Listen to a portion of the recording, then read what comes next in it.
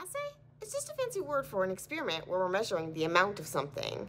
And by something, we could be talking about like the presence of a molecule, how much of this protein is present. That would be a type of concentration assay. Or we could be talking about the amount of doability. So how much ability is there for this molecule to bind this other molecule, a binding assay, or carry out some specific function, a functional assay. In the case of an enzyme, we can talk about enzyme activity assays, which measure the ability of an enzyme to carry out um, whatever task it does, whether that be cutting nucleic acids or cutting proteins or um, putting piecing together molecules, all these various reactions. So we have different types of assays that we can use to measure all of these different things things. Typically, there's not just like one way to do something, not just one type of assay. Instead, there's a lot of different ways to get about the same or at least a similar answer. And what assay you choose is going to depend on things like what molecules you're using. Some assays have different like incompatibilities with various methods. And then it also depends on what equipment is available to you. So let's talk a little bit more about these assays themselves assays, they in addition to varying based on what they're measuring, they're also going to vary in how they're measuring it, like what techniques that they use. They'll also vary in the type of results that they can give you. So some assays are what we call quantitative. And when you hear quantitative, think numbers. Or I guess in this case, when you see numbers, think quantitative. With a quantitative assay, you're actually getting a number for the measurement.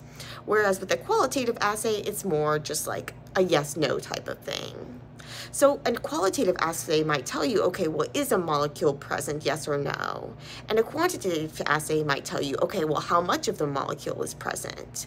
To be truly quantitative, it's going to tell you like exactly how much of it's present. At least if you're in within like the range of the assay. So there's like a quantitative range where it might give you a number if you're outside of that range, but it only guarantee that it's going to be pretty accurate in the specific quantitation quantitative range.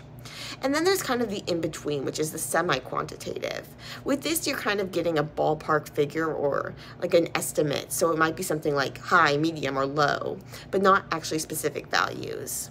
For example, think about if you were trying to measure like the pH. So pH is a measure of the amount of protons that are available and so a measure of acidity. And so you can basically think about, okay, well, if I use this indicator dye, it'll change colors when the pH is a certain level. So if there's, say, an acid present, it'll change colors. And so if an acid is present, it'll be able to tell me this. But that's basically all it can tell me. So it'll give me this yes, no answer. Is the pH below a certain value? Is there an acid present? But if you want to actual numbers, well, what if you put a pH paper strip? Well, theirs is kind of like semi-quantitative. There's a range of values it'll give you. Um, those Maybe it'll have those little squares and each square will be a different value. And if that one lights up, then you get, you know, it's that pH, but it's about, it's a rough estimate. If you, though, put your probe into the mixture, well, now you can get an actual quantitative amount, the exact pH of the mixture. So that's telling you like this measurement of the amount of protons that are, that are free protons that are around. And so this is another, um, this also shows the point that with an assay, we're typically not measuring the thing directly. We're measuring some sort of indirect indication of what's actually going on, of what's actually present in the mixture. So assays, they typically have readouts that can be like dye-based or fluorescence-based, um, things like this. So lots of different readouts. And this will also um, impact what assay you choose is what you have in terms of ability to detect. So some common assays that you'll come across in biochemistry include various concentration assays. We sometimes talk about like protein assays, which are measuring protein concentration. Things like a Bradford assay, a BCA assay, a Lowry assay. And again, the assay that you choose, in this case, it often depends on what properties there are of in the mixture that your molecules in, there might be like incompatibilities with detergents and things like this that would make you want to choose one method versus another. Then we have various binding assays. With a binding assay, we're often using various like biophysical techniques, um, things like SPR, surface plasmon resonance, um, things like ITC, isothermal calorimetry, various um, blotting techniques like slot blots, all sorts of different binding assays where we're measuring binding strength. And we're typically varying concentrations when we do these assays in order to get a range of values that we can then fit with a curve and things like this. So with an assay, you're typically you're often changing, systematically changing the concentration of one of the things um, to measure, to get more accurate measurements, as well as to measure things like binding constants. Or in the case of an activity assay, you could be measuring um, like the rate constants by varying these different components and seeing um, the trend of the curve and plotting all that and all that good mathy stuff. So with an activity assay, the, here the methods are going to vary very broadly because different enzymes do different things. And so if you want to measure what the enzyme does, well, then you have to be measuring the thing that the enzyme does. Um, and so you'll have a bunch of different readouts for this. Um, but there are various reporters, there are various systems where if it gives off um, the product can be converted into something else and you can see that or you can measure the ATP that's released as the process of this or that's burned in the process of this. So there are various ways that you don't have to have like a super different assay for each enzyme that you want to test. Um, but so that enzyme activity assay, that's an example of a functional assay. So it's important to have functional assays where we can actually test the ability of a molecule to carry out whatever its function is. Um, and sometimes to carry out a function that you wouldn't normally think it would do, but it can do um, because the, there are assays that can measure that more easily. Um, so we often use like artificial substrates and things like this.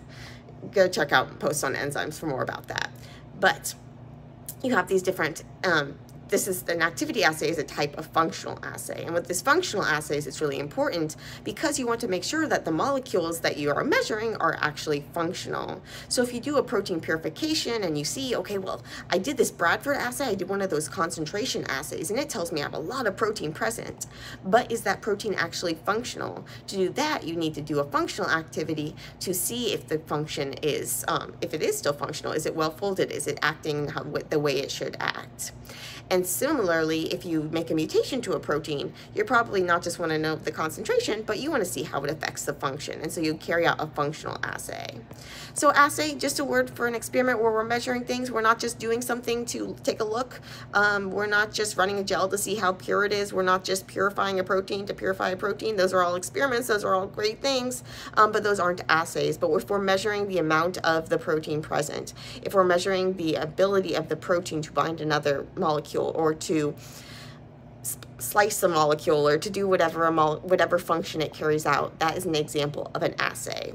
So we use this term assay a lot to talk about a lot of different things and that's all it means. Just think an experiment where you're measuring something. I highly recommend that you go and you learn about all these different assays techniques that are used, um, different pros and cons of each of these. Not only is this going to help you better design and carry out your own experiments, but it's going to help you interpret the results of other people's experiments, um, such as when you're reading about them in papers.